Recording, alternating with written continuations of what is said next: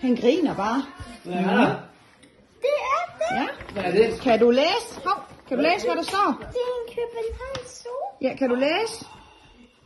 Begøster København Zoo. Ja, kan du læse, hvad der står? Basse. Kære Jonas. Ja, Jonas. Tillykke. Kære Jonas, tillykke med fødselsdag.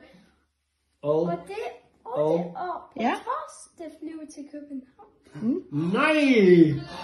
Og hvad skal du? Hey, hey, hey, hey. Hvad, hvad Og hvad skal vi så? Hvad skal du skal i? vi til København. Ja. Hvad skal du? Og hvad skal vi i København? Hvad skal du? I Zoo. Ja!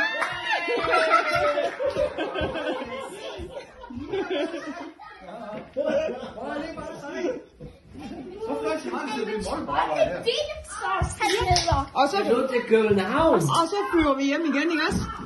Godt.